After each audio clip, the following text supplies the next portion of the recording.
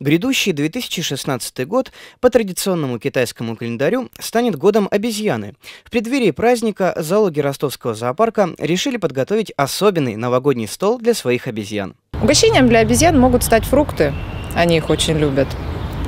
Вот. И также может быть, кто-то подкинет даже им вольер игрушки. У зоологов это называется обогащением среды, то есть у, у человекообразных обезьян вольеры оснащены, скажем, там головоломки, какие-то игрушки, веселые вещицы, которые им будут интересны. Поэтому для обезьян этот год будет веселым. И сейчас последние дни декабря достаточно много гостей. Они очень рады этому. В ростовском зоопарке около 16 видов приматов. Сейчас в экспозиции на улице гости зоопарка смогут увидеть только низших приматов – макак и капуцинов. Но они находятся в теплых застекленных вольерах. Обезьяны – теплолюбивые животные. Большинство из них в зимнее время спрятаны в теплых вольерах, которые вообще недоступны для глаз посетителей. Человекообразные обезьяны выйдут на улицу только к весне, когда температура воздуха поднимется до плюс 15 градусов.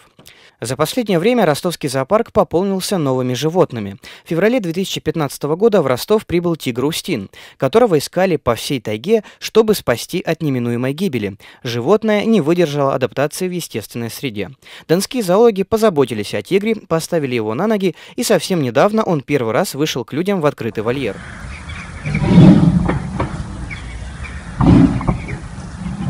Не надо. Все, все, все.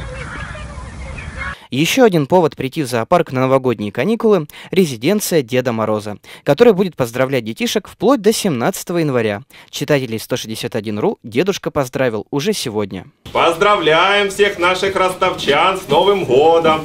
Не за горами уже этот светлый праздник. Мы прощаемся с овечкой и в гости ждем обезьянку. Всех этих животных вы можете у нас увидеть. Приходите всех. Поздравляем всех с Новым годом! С Новым